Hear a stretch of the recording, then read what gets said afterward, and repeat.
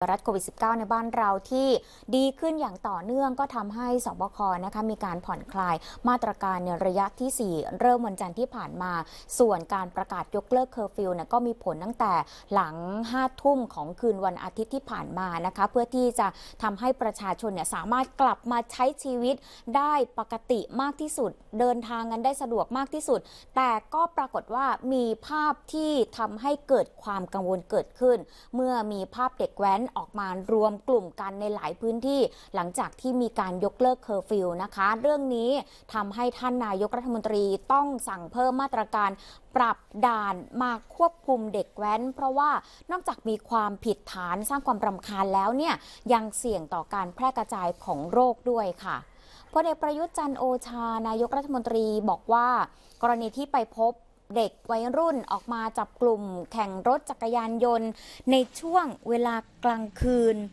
หลังจากที่ยกเลิกเคอร์ฟิวเพราะฉะนั้นเนี่ยสังคมและผู้ปกครองต้องช่วยกันนะคะ ไม่เช่นนั้นสังถ้าหากว่ายังเป็นเช่นนี้อยู่ ถ้าทุกคนไม่รู้จักควบคุมตัวเองเนี่ยจะกลับมาประกาศเคอร์ฟิวใหม่อีกครั้งหนึ่งค่ะก็เจ้าหน้าที่ปกติก็มีอยู่แล้วก็จับไปที่ ตำรวจก็มีอะไรก็มีเดิมไม่ต้องมีไม่ไม่ไม่ต้องมีเคอร์ฟิวมันก็จับกันอยู่แล้วอะวันนี้จับไปติดคุกเลยนะแล้วจะประกุมกันก็ว่าอีกที ถือว่าวันนี้มันมีพรฉุกเฉินอยู่ด้วยนะเพราะฉะนั้นสร้างความรำคาญให้กับคนอื่น แล้วก็แพร่เชื้อ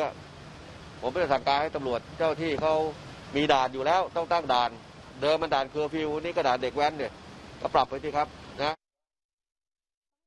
ครั้งหนึ่งนะคะคุณผู้ชม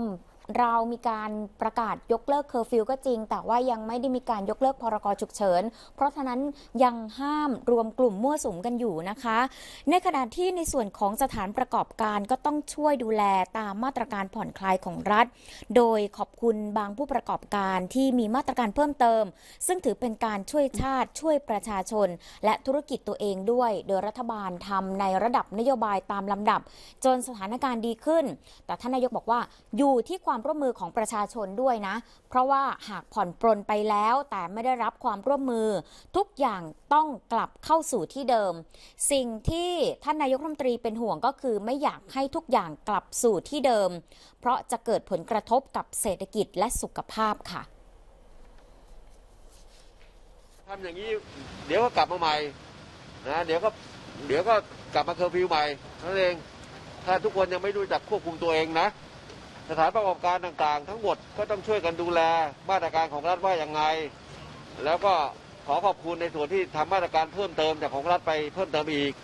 ก็ถือว่าช่วยชาติช่วยประชาชน แล้วก็ช่วยธุรกิจของตัวเองด้วย ใครไม่ยอมทำอะไรเลย จะทำแบบเดิมทั้งหมด แล้วเราให้อะไรไปแล้วมันมันควรควรจะปลดล็อกให้หรือเปล่าล่ะ มันต้องมีมันต้องมีทั้งสองทางเสมอรัฐบาลเนี่ยทำในระดับนโยบาย ระดับในการที่จะผ่อนปลนนะก็จะเห็นได้ว่าเราทำมาตามระดับลำดับลำดับต่อไป จนสถานการณ์มันก็ดีกว่าต่างประเทศหลายประเทศนะแต่ทั้งหมดด้วยอะไรล่ะ ด้วยความร่วมมือของประชาชนไม่ใช่หรือ